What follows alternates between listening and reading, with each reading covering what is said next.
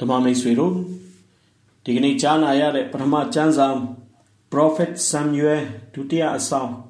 အခန်းကြီး24ခန်းငယ်1ရှစ်ကနေဆက်ခွန်မှာဒေးဗစ်ဘုရင်ကြီးသူ့ရဲ့အပြစ်ကြောင့်သူ့ရဲ့တိုင်းသူပြည်သားတွေ9000ကျော်ပလိတ်ယောဂာနဲ့တည်ခဲ့ရတဲ့အကြောင်းကိုကြားနာခဲ့ရတယ်။သူ့အပြစ်ကြောင့်တည်ကြရသူတွေအတွက်ဝမ်းနဲ့ကြေကွဲစွာနဲ့ဘုရားသခင်ကိုတောင်းပန်ခဲ့တယ် ဒေးဗစ်ဘီရင်ကြီးစီကနေကျွန်တော်တို့သင်ခန်းစာယူစရာကတော့ခေါင်းဆောင်လုပ်တဲ့သူဦးစီးဦးဆောင်ပြုတဲ့သူဒီလိုပုံကိုယ်တွေမှားရင်အပြစ်ထဲကြရင်အပြစ်မရှိတဲ့သူ့ရဲ့နောက်လိုက်နောက်ပါတွေပါသူ့ရဲ့အပြစ်ကိုဝေမျှခံစားကြရတယ်ဆိုတာကိုတတိပေးနေခြင်းဖြစ်တယ်။ဒါကြောင့်မို့လို့မိမိရဲ့မိသားစုကိုဦးဆောင်တဲ့သူတွေဖခင်ပဲဖြစ်ဖြစ်မိခင်ပဲဖြစ်ဖြစ်မိသားစုကိုဦးဆောင်နေတဲ့သူတွေ အဖွဲ့အစည်းကိုဦးဆောင်နေတဲ့သူတွေသာသနာကိုဦးဆောင်နေတဲ့သူတွေတိုင်းပြည်ကိုဦးဆောင်ဦးရွယ်ပြုနေတဲ့သူတွေလမ်းမမှားဖို့အပြစ်ထဲမကျဖို့တတိထားထောက်ရှုကြရမယ်။ငါကြောင့်ငါအပြစ်ကြောင့်ငါအမှားကြောင့်ငါမိသားစုဒုက္ခမရောက်စေရဘူးဆိုတဲ့စိတ်မျိုးမွေးရမယ်။ဆက်လက်ပြီးဒီကနေ့ကြားနာရတဲ့ဧဝံဂေလိကျမ်းစာရှင်မာကုခန်းကြီး6ခန်းငယ်1ကနေ6မှာ သခင်ခရစ်တော်သူကြီးပြင်းရာမြို့သူ့ရဲ့ဇာတိမြို့ဖြစ်တဲ့နာဇရက်မြို့ကိုပြန်လာတယ်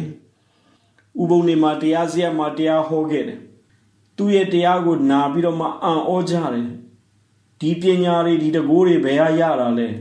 ။ငါတို့နဲ့တူတူကြီးပြင်းလာတဲ့ပုဂ္ဂိုလ်က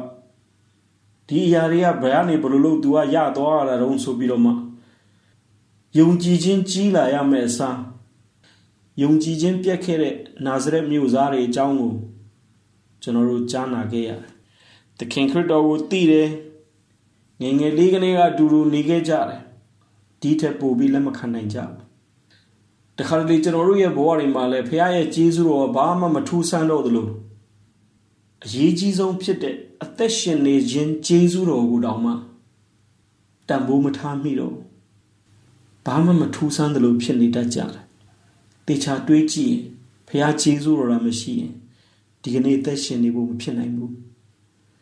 ဂျေဇုတော်တွေကအမြဲတမ်းလကားရနေတော့အထင်ကြီးစရာမရှိတော့သလိုစိတ်လှုပ်ရှားစရာမရှိတော့သလို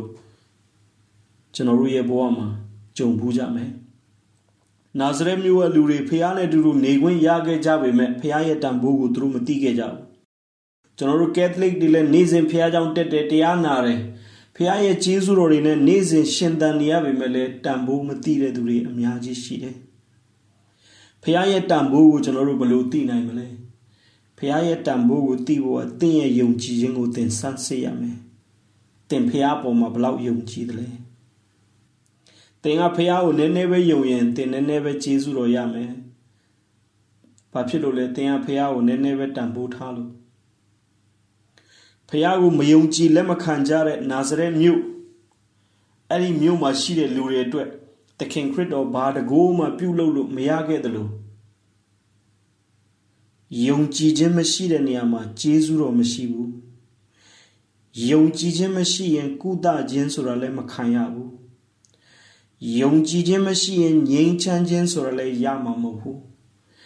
အဆိုးဆုံးကတော့ယုံကြည်ခြင်းမရှိရင်ကယ်တင်ခြင်းဆိုတာမရနိုင်ဘူးဆိုတဲ့အကြောင်းကိုနာဇရက်မြို့သားတွေစီကနေကျွန်တော်တို့သင်ခန်းစာယူပြီးလေ့လာကြိုးစားသွားကြပါစို့နာဇရက်မြို့သားတွေစီကနေသင်ခန်းစာယူပြီးဖះပေါ်မှာကြီးမားတဲ့ယုံကြည်ခြင်းရှိတဲ့သူတွေဖြစ်နိုင်အောင်ကြိုးစားသွားကြပါစို့ဓမ္မမိတ်ဆွေပေါင်းကိုစိတ်နှဖျားချမ်းသာချမ်းသာတော်မူကြပါစေ။